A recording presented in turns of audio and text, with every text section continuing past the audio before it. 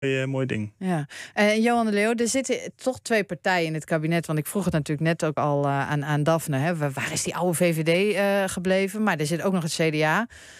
bij, toch bekend om de zuinigheid. Ben, ben je dan, zijn jullie ook nu zeg maar teleurgesteld in hen?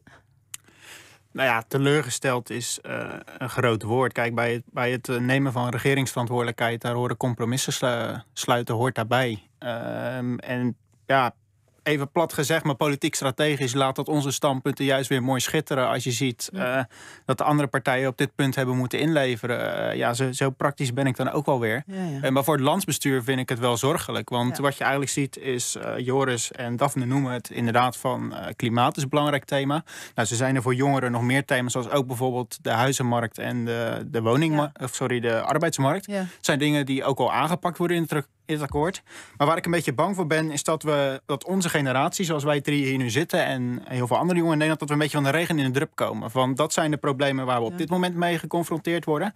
Nou, die gaat het kabinet dan proberen op te lossen. Maar omdat ze daarin zo in de overdrive schiet en dat zo uh, dik hout zaagt met planken doet, uh, met zakken geld in plaats van met slimme plannen, dat wij dan, als we straks opgegroeid zijn, als wij straks dan die baan in dat huis hebben, dat wij dan vervolgens met torenhoge belastinglasten uh, ja, ja. achterblijven om vervolgens hier de kosten weer van te betalen. En wat zou dan jouw oplossing zijn als, als SGP in het kabinet zou zitten? Alles een beetje minder of bepaalde uh, gebieden helemaal een beetje laten zitten?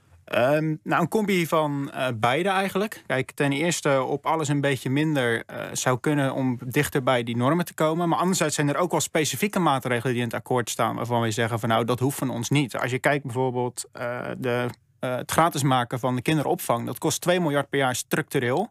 Uh, dat loopt op tot 22 miljard ja. in 2035. Dan kom je op hetzelfde bedrag uit als uh, het eenmalige fonds dat het kabinet voor stikstof gereserveerd hebt.